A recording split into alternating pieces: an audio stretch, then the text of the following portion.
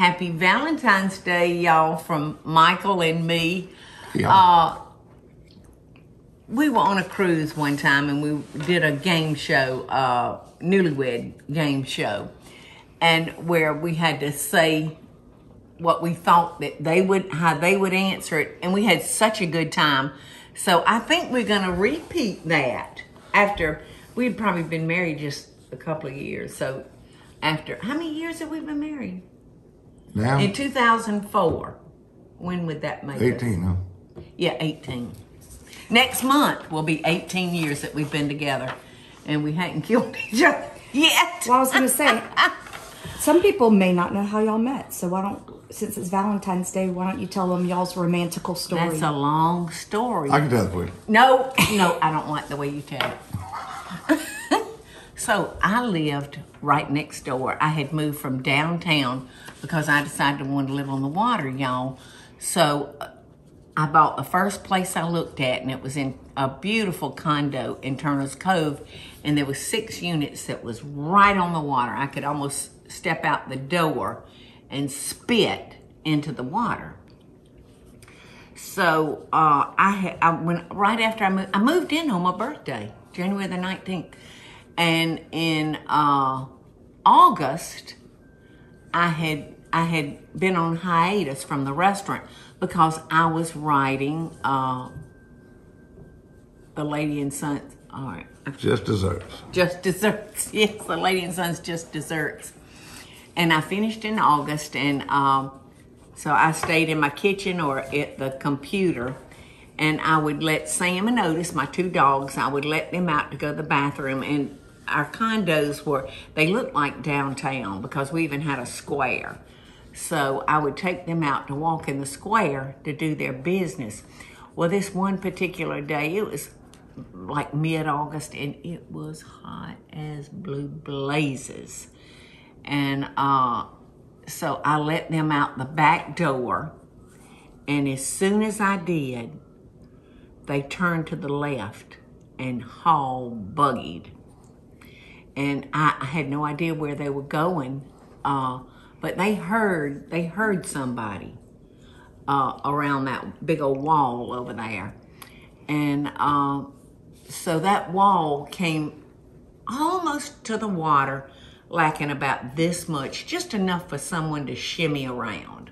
So the dogs ran around it easily, and then I I held on for dear life and shimmied around it, and uh, sure enough, they had uh, heard somebody talking on their phone, and. Uh,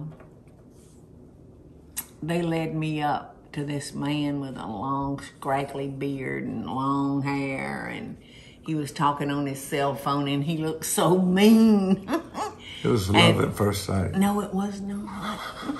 and naturally, Otis started taking a humongous crap right there at Michael's feet. And I said, Oh, well, he'll kill me now. That's reason for him to kill me. So I, I said, I am so, so sorry. If you've got something I can get it up with, I'm happy to get it, give it, uh, you know, get it up. And he said, he mumbled something like, well, I like animals, it's people. I'm not so sure about. so listen, for the past three years, y'all, when I was living downtown, I was praying that God would send me a neighbor because I, my business was doing so good, my children were doing good, but I was lonely.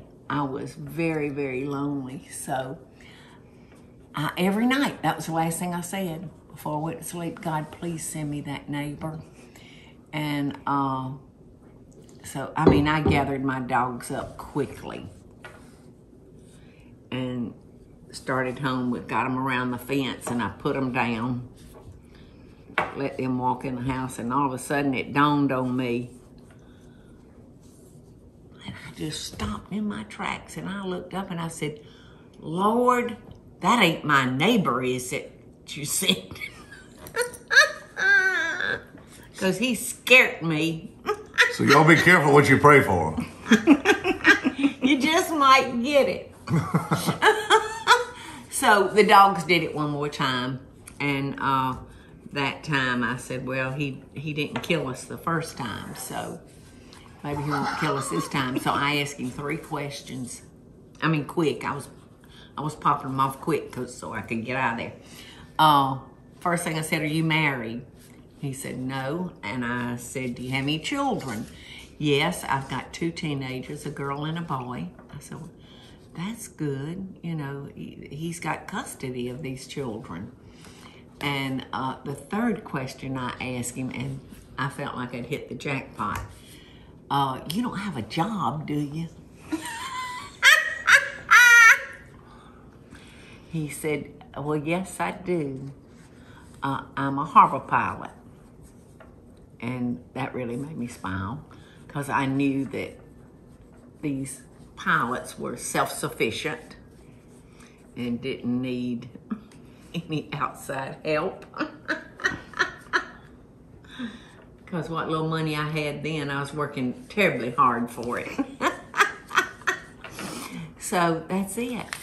But if you can get your hands on a copy of my memoirs, It Ain't All About the Cooking, that'll really tell you the whole nitty gritty story. Right? Yep. Do you have any add-ons?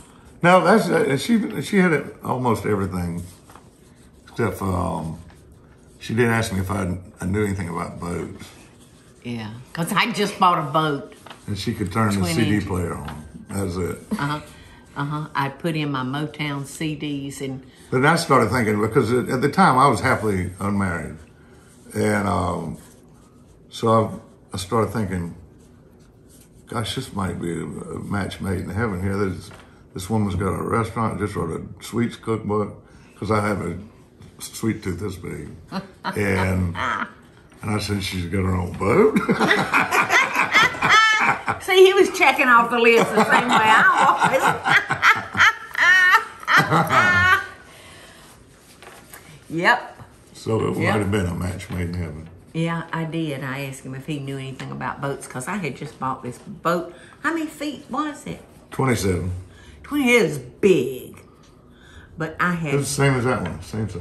is it, was it? Yeah, and it had had two cabin. big old motors. Yeah, and you could sleep in mine. It had a cabin in it with some beds and so I, I couldn't drive that. Bubba tried and I think he got dog, you know, got, I don't know, but it didn't work out.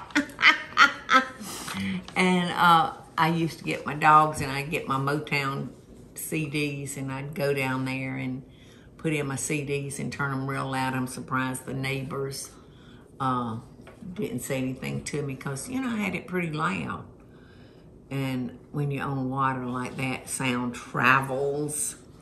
But uh, I, the dogs and I just sat there and we'd wait for another boat to come by, you know, to give us a little wake so we could rock. Say we've been out boating. So let's get to our little newlywed game. Okay. Okay. So I'm going to ask each one of you. I'm going to go back and forth questions wise, mm-hmm. and as the newlywed game works, they've been asked these questions and they've already given their answers, and these are just fun little questions. We'll see how well you know each other. So, the first question is actually for Paula, and this is about Michael. So you're answering a question that Michael It's has not answered. about Michael, it's about what Michael would say, Yes. how he would answer, Right. right? Mhm. Okay. These are safe questions, just so you know. They're safe. What Safe. you mean, what? They're, what was Michael's first car? What was Michael's first car? He told me it was old. it was like, uh, was it a Plymouth or a Dodge? Then he had a little Beetle. He had a Volkswagen for a long time. But his very first car was, was like a $200 junker or something. What's the answer, Michael? Galaxie 500. That was a nice car. Who makes that? Ford. Okay. Galaxie 500. I'll never forget that now. It looked like the car on uh, Andy and Mayberry. Uh huh. Yeah, you The told me car. that. Yeah. So, Michael, this question's for you. Okay. How many pairs of shoes does Paula own? Um, 70. 70. That's how many you own. I said you would say 30. We ain't even got 70 holes back there to put shoes in. Well, we're even. The score. No, it's tied. Okay, so If my- I knew my answer. You just guessed yours. Well, I had to say what you would say what I thought you would say. hey, it's Valentine's Day. Okay, Paula, ready? Mm-hmm. What would Michael say? Is Paula always late, always early, or right on time? Always late. what did you say? I forgot. He said extra, extra late. Tell them the story you told me. I think me. I get a point, don't I? Just just the other day, we were on an airplane, and Paula was watching a movie, and we had a connector. So it was kind of, was, we didn't have long to sit there. And it was Atlanta, so we had to go to another um, concourse. Was a quick connect. Paula had to watch the end of her movie. Thank the Lord, the airplane turned the damn movie off so we could go catch that next plane. And then she left her iPad and her, her phone. So we were, we almost back. spent the night in Atlanta. But Michael, I was so frustrated because I had I had to shut off a movie on the flight there, and then the next flight. So I had missed two movies, the end of two movies. Oh Lord. Okay, you ready, Yeah. Michael? So, what is Paula's favorite food? Paula's favorite food, let me think. Um,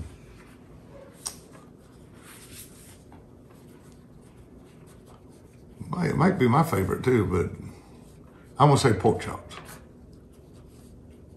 Is it pork chops, Paula? I was pretty close. You were pretty close. oxtails. What are oxtails, Paula? Oh, they're this romantical food. And what is Romana Pick it up and gnaw it, and it's just run down your arms. It's just so It's, good. uh, it's it's actually the the tail, tail- of a castrated bull. We used to call it swinging sirloin. Okay. But they're they're delicious, and it used to really be, really, really a poor man's food. But you can go into most restaurants in New York City right now, your finer restaurants, and there'll be some form of oxtail on that menu, whether it be oxtail soup. Uh, we went to a restaurant one time in New York, supposed to be the finest French restaurant, and they had oxtail and lobster. And I said, Get that, Michael, that'll fill you up. Well, they brought his plate out, and it looked like a strip of chewing gum. So we keep asking questions about cars, Paula, to you, because we know that Michael mm-hmm. absolutely adores cars. Yeah, anything with a motor. Exactly. So how many cylinders does Michael's cars have? And it's actually pretty much one answer. Which cars? Which cars, Michael? Which cars are you asking about? You said in his cars like more. His old car. The, oh, his, his old vintage. car. Oh, I would say um, probably a six cylinder, but I know he would prefer an eight cylinder, right? Well, what is it, Michael? Eight. you were close. I said both of them. I know you did. okay, Michael. Who said I love you first? I think I did. Ding, ding, ding! Yay! That's so sweet. So, Paula, what is He Michael? and his family are big I love yous. I mean, they they uh, they walk from one room to the other. I love you. you know. so I think it was him. So, what is Michael's favorite food?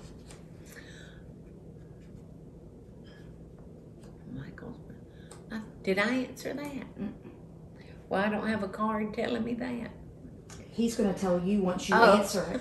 Oh, that's right. I got it, Bass Ackers. I was going to look on my card to see what I said. so pretty. Thank you.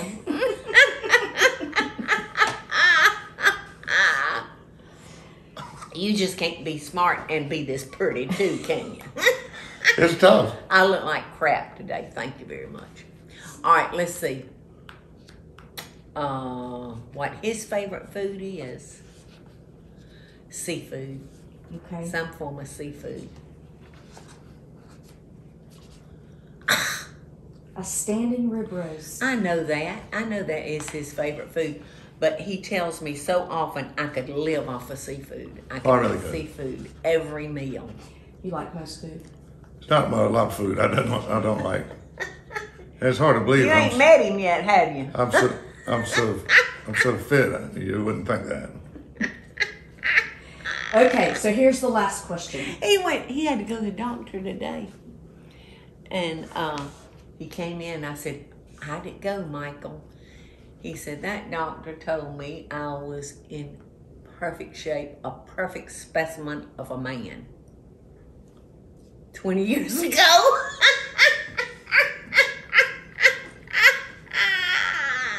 oh, I thought that was funny. Cause he had me. I said, "Oh, good, good report." Okay, so Paula, here's the last question. Uh huh. What is your I've got more hearts than that. Oh, I'm sorry. That you should. I'm sorry. I got two hearts. I'm supposed to be at I messed up. Sorry. It's Oh. Michael's turn. What are Paula's favorite pizza toppings? Uh, pizza. Let's see. She kind of changes it up, but uh, I'm gonna say uh, sausage and bacon.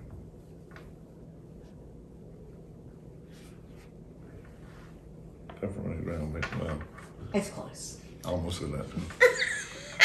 we do we do like all the meat, so Oh, that's what I I, could have picked We like four or five. We of them. like meat pizzas. Don't give us no uh, margherita pizza. Okay, so Paula, here's your Uh-huh. last question that you have to Okay. answer. What is your Oh. favorite recipe that what is Michael's favorite recipe that you make for him? what now? Okay, this question is it was to Michael and it was what is your favorite recipe that Paula makes for you? Well, doesn't he need to answer that? Because I know Already that did. answer. You answered. You answer. What did he say? You have to answer what he said. Remember? How many So times is we your gotta go over favorite rules? Well, now I'm confused. All What's right. my favorite recipe you cook?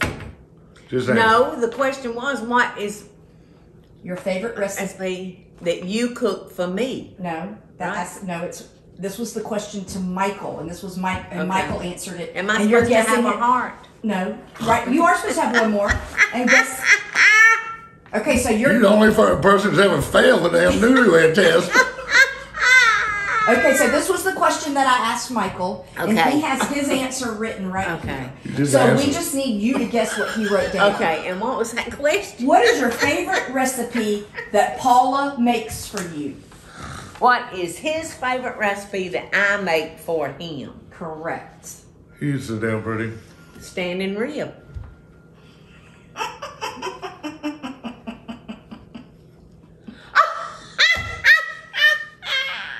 the oxtails.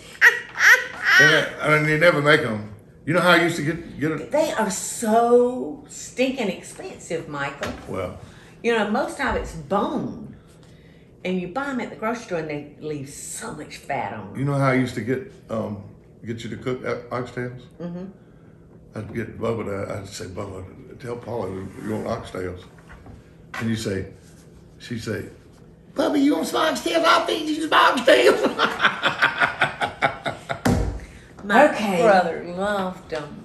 He I loved them. Let's try this last question. So Paula, Okay. I think I'm winning. yeah, I don't know Even about though. I'm confused. well, no, you failed. You I'm failed a once you- confused winner. Once we had to give you the, the instructions 15 times.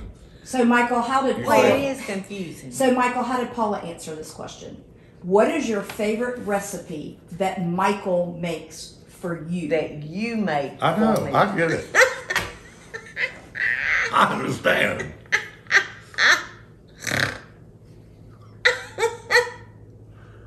Let's see. Think. Um, there's there's sausage and uh, pork loin and sausage. I mm-hmm. know you better than you know me, right? Or did I get that I right? think it was kind of even. It was kind of All even. right, let's see. I It's got just that one right. Seventy pairs of shoes. We can count them. We may have to alter that. I think we should stop while we're ahead and let's just celebrate Valentine's Day. Yeah, maybe I should give you this. Because we're both competitive. What? I can't believe I had the standing rib and the oxtails. Yeah, maybe I should just give you those. Put those in your notes. He wants me to cook these. well, I guess that's a wrap, honey. We're going to have to stay together 20 more years because we really don't know each other. Mm-hmm. we don't really don't know each other that well, do we? We should in the next twenty years. Happy Valentine's Day. Same to you. Thank you. Hey y'all, it's Paula Deen. Now, if you enjoyed this video, be sure to like it and click the subscribe button as well as the notification bell to be alerted when I post a video. Love and best dishes, y'all.